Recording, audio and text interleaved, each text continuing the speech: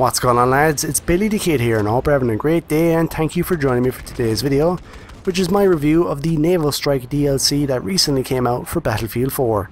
Now I know it's been quite some time since my last upload, but recently I came down with a bad dose of the flu and I did not have the energy and I did not want to be doing any videos because of my sick grovelly voice. So I decided to stay in bed and try and get better and uh, better I am. I am uh, now all okay, I'm back making videos. So once again I do apologise I'm sure you can understand and I thank you for your patience in hanging around the channel and waiting for my next upload. The gameplay is going to be Carrier Assault on Wavebreaker so I hope you enjoy the gameplay. Now the first thing about this review about Naval Strike I'm going to cover is the elephant in the room and that is Carrier Assault, the new game mode for Battlefield 4 that was introduced with this new DLC, Naval Strike. Carrier Assault was basically the main selling point for Naval Strike for DICE. You know, they kept on saying, buy Naval Strike for Carrier Assault, because it's basically Titan mode from 2142. Now, personally, I've never played Titan mode from 2142, but I've had my friends tell me what it is, I've seen footage on YouTube of what it was, and when I heard about Carrier Assault, I was actually very excited. However, straight off the bat, I had to remember, I had to remind myself, hang on a second, Carrier Assault, it sounds good, I love playing the objective in Battlefield 4, however, there's a massive problem with playing the objective in Battlefield 4 with random people. People just don't seem to get it. People just don't seem to care anymore because the game is so broken, and it's still broken today. So, on one hand, I was very excited for Carrier Assault, but on the other hand, I also had to remind myself, well, the level of playing the objective in Battlefield 4 is at an all-time low, playing Conquest, Conquest Large, and Rush especially.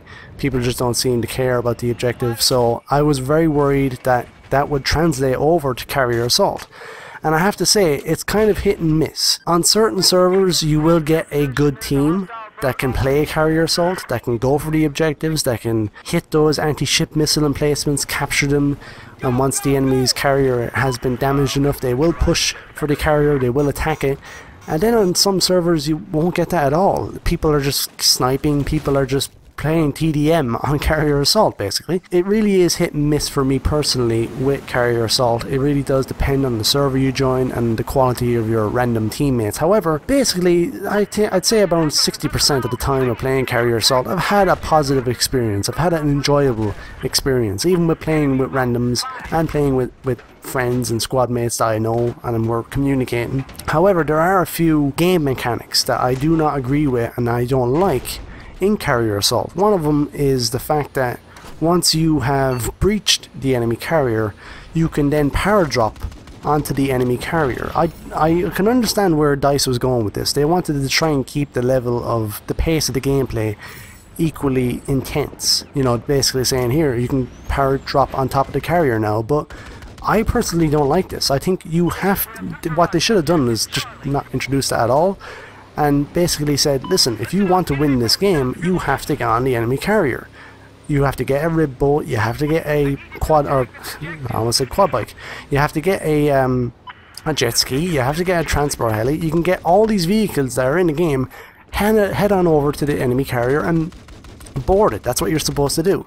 But instead they give this this this stupid, really really stupid mechanic of just power dropping on top of the enemy carrier.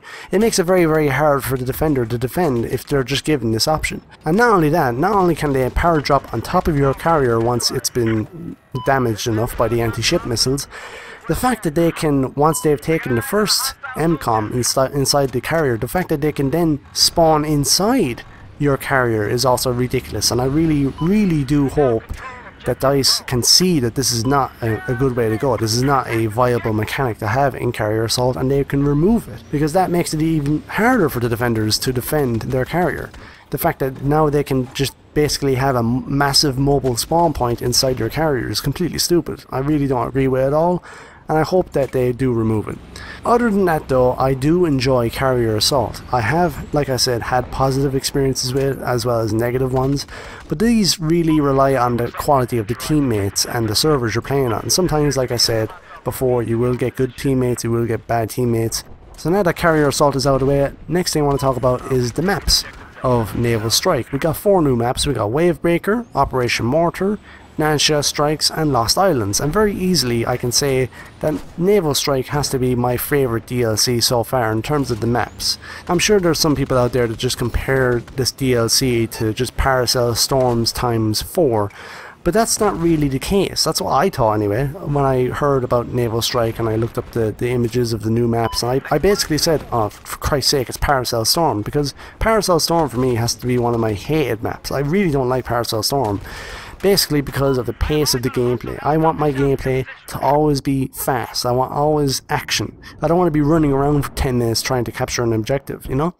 So basically, that's what I thought about these maps for Naval Strike, but I was very pleasantly surprised about the pace of the gameplay for two of the maps, Wavebreaker and Operation Mortar. In all of the matches I played in Wavebreaker and Operation Mortar, whether it's Carrier Assault or Conquest, I feel that the pace of the gameplay is very rapid, it's very consistent. There's not a lot of areas where you're, you know, basically traveling on foot or in a vehicle and there's no action basically because the map is so big. That was my one one of my biggest fears with Naval Strikes maps. I was I was fearing that maybe they were going to go too far in terms of the size, but thankfully this is not the case. Most of the matches I've played on these two maps have been very enjoyable, even with random teammates who didn't know where they were going who've never played the maps before. However, I do feel that Nansha Strike and Lost Islands kind of miss it on terms of the pace of the gameplay. In my view, it's kind of slow. I, I could be wrong. You can disagree with me and say, no, I don't agree with you, Billy. I think these four maps are fantastic in terms of gameplay. But for me personally, Nansha Strike and Lost Islands take second place in terms of the pace of the gameplay. Wavebreaker and Operation Mortar have to be two of my most favourite maps now in Battlefield 4. But the last thing I want to talk to you about Naval Strike is Easter eggs. The fact that Megalodon has recently been discovered on one of the new maps is very worrying personally for me because this particular Easter egg has been hinted at since basically the launch of Battlefield 4 and very recently I've found multiple servers of people not killing each other and just trying to activate this particular Easter egg. Now, does it look cool? Yeah, it does. But that's it. It, it just looks cool and you know that's it. Why, why are we all trying to find a fucking massive shark? What was really really worrying for me and confirmed in multiple sessions on conquest and conquest large people not even playing the objective. People just swimming out to this buoy in the middle of the water so they can activate this easter egg instead of playing the damn game. That is what has me worried and angry about this whole Easter egg hunt. If DICE wants to make an Easter egg hunting game, please let them go make an Easter egg hunting game. They can go call it whatever the hell they want. Fucking Easter egg simulator, I don't know. But that's all I want to say about the Easter eggs. I personally don't want any more Easter eggs because A, it ruins the gameplay, and B, this is a first person shooter, it's not an Easter egg hunter simulator. If DICE wants to go make that, all the better for them.